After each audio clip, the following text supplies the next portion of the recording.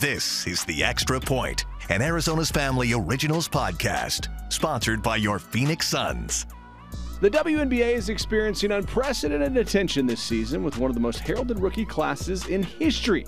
One of those rookies is Cameron Brink from the LA Sparks, who played her first game in Phoenix last Sunday.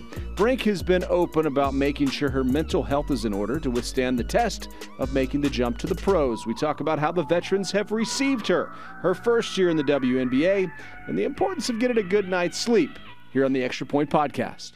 Gosh, it's definitely a journey, but a wonderful one at that. And I'm just so thankful for every step. Um, you know, I was just in college not a long time ago, so it's an adjustment, but I'm just very happy to be a part of all of this. It's amazing.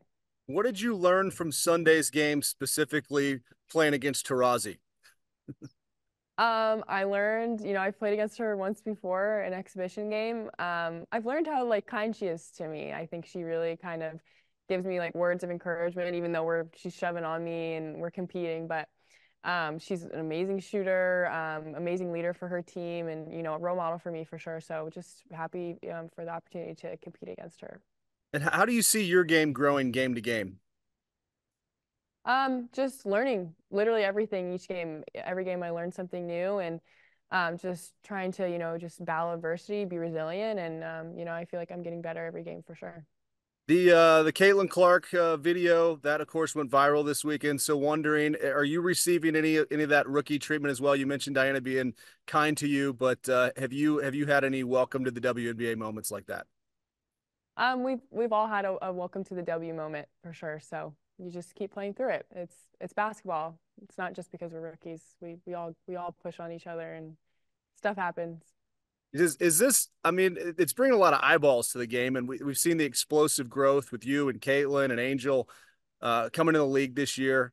Uh, how how do you feel about just the the extra attention, but maybe it, it, the the look of it isn't what everybody wants here? Um, I think you know you can perceive anything the way you want to perceive it. For me, I choose to just take everything as a positive. Um, and you know, everything's been great so far. I think people have been positive with me, and if anything's negative, I just drown it out. Um, I know that the rookie class, we we all have each other's backs, and you know, while we're competing with each other, you know, it's all love at the end of the day. So, um, it's just a really amazing league, not just the rookies, but the veterans too, and it's just a really um, amazing place to to go to work every day. Competition's not pretty, is it? I mean, it is what you think it is. Yeah, I think it's pretty, but that's just because I'm a, a basketball player. But you know, competition's competition. It's, you know, nobody's going to take it easy on anybody. You've been very vocal about uh, mental health, why it's important to you. So how do you keep uh, in a in a positive frame of mind, learning the new league, the uh, I guess the ups and downs of it, and, and keeping your mental right? Yeah, I think for me, um, I've gotten you know to a really good place with a routine around just building self care and making sure my mental is in a good spot, and so um, a lot of that has to do with sleep. And so honestly, it's like the perfect partnership with Mattress Firm. I'm the founder or a part of the founding team of uh, Team Sleep Well. And so it's basically just about um, giving athletes the, you know, the right opportunity to find a mattress, you know, sleep solutions that work for them. So working with sleep experts to really prioritize our rest and recovery. So with Mattress Firm, I got fitted with the perfect mattress for me and I'm 6'4", so I have a California King now, which is absolutely amazing. So I get the best sleep every single night, and you know I just feel like I'm really optimizing my you know performance for for every game coming up. What uh, what's the optimal hours of sleep that you need to get every night?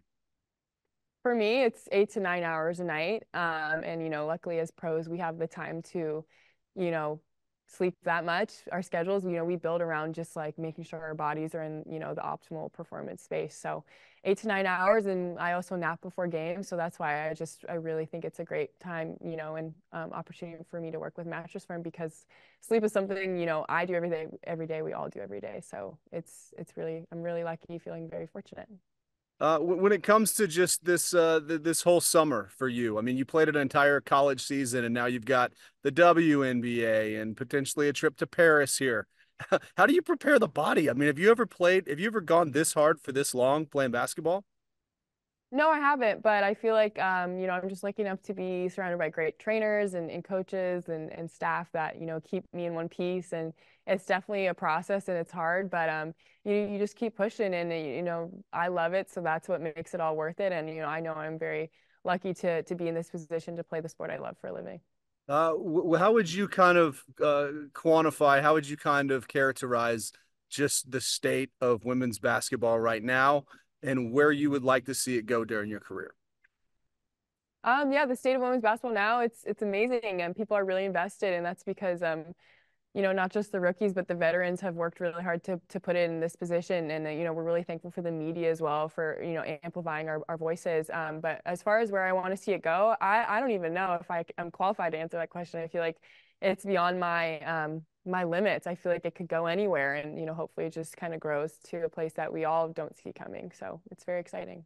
All right, and, and who were the who were the people you grew up watching, and, and have you had any of those moments where you you're playing against them now? I know you've you've played quite a bit, but is there any has there been any kind of like moment where you've had to, you know, take a step back here as a pro?